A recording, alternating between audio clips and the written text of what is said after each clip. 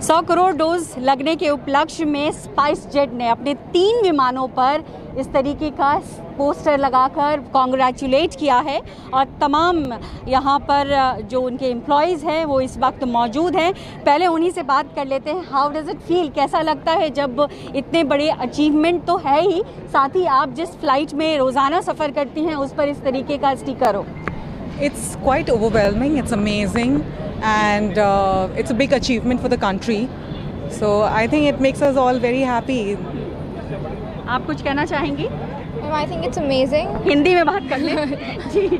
Ma'am मुझे लगता है कि मतलब स्पाइस जेट के लिए एक बहुत बड़ी अपॉर्चुनिटी है। And it's an amazing feeling for all of us ji. Announcement भी हो रहे हैं कई जगहों पे। जब ये फ्लाई करेगा तो क्या पब्लिक के लिए अनाउंसमेंट भी करोगे?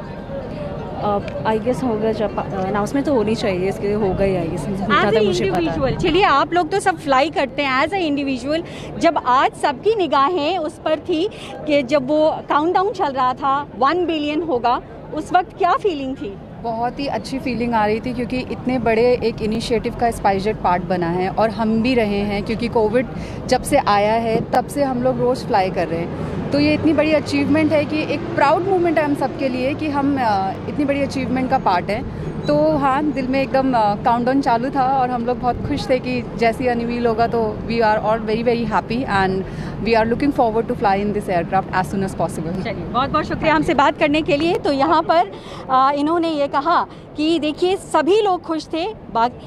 उसी की तरह ये लोग भी खुश हैं और ख़ास करके ऐसे फ़्लाइट में जहाँ पर कॉन्ग्रेचुलेशन इंडिया है, वो इच्छा ये ज़रूर जता रहे हैं कि जब ये फ़्लाइट उड़ान भरे तो इस फ़्लाइट में बैठें और लोगों को बताएँ कि देखिए भारत ने क्या अचीव करके दिखाया है। कैमरा पर्सन जहांगीर के साथ पल्लवी झा, दिल्ली न्यूज़ 24